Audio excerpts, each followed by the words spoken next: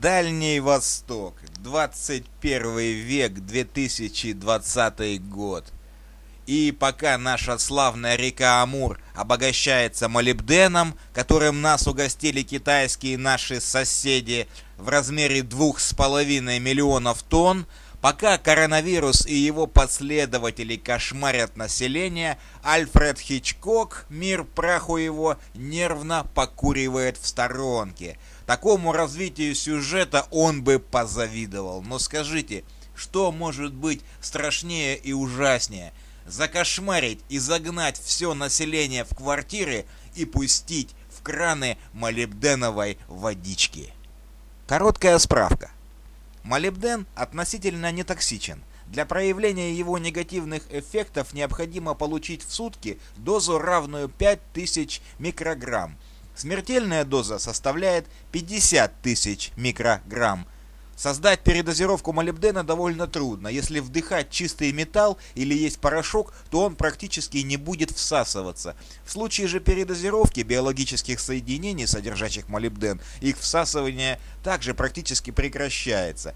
Потребление молибдена хорошо контролируется нашим организмом, и чем больше его поступает, тем меньше он всасывается. Чтобы набрать токсическую дозу, нужно съесть в сотни раз больше, чем опасная доза количества молибдена. Острое отравление молибденом практически не встречаются. Хроническая передозировка молибдена во многом напоминает состояние, возникающее при дефиците меди. У такого человека происходит замедление роста, развивается анемия, начинает накапливаться в крови азотистые шлаки, возможно развитие подагры.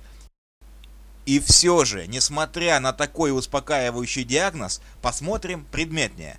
1 микрограмм – это 1 миллионная грамма, то есть 50 тысяч микрограмм – это 5 сотых грамма. 5 сотых грамма молибдена – смертельная доза. Это столь неуловимо, что вы этого даже не ощутите. И только потом, возможно, вас накроет ухудшение аппетита, апатия, слабость, утомляемость, анорексия, головная боль, артралгия, миалгия, боль в груди, кашель без мокроты и диарея. Это симптомы отравления молибденом. А вот симптоматика отравления отходами и окислами молибдена пока вообще неизвестна. Но если, не дай бог, кто траванется китайским подарком – всегда можно списать на коронавирус.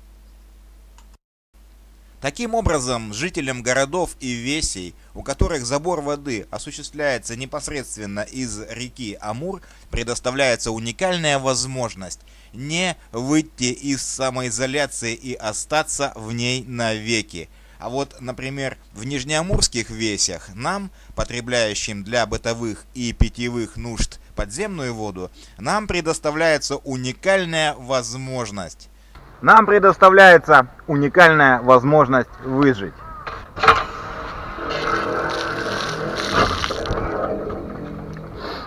Друзья, пока суть до дела, пока там у них коронавирусы и химические атаки с Китая, предлагаю отсидеться в Николаевске на Амуре. Пока все.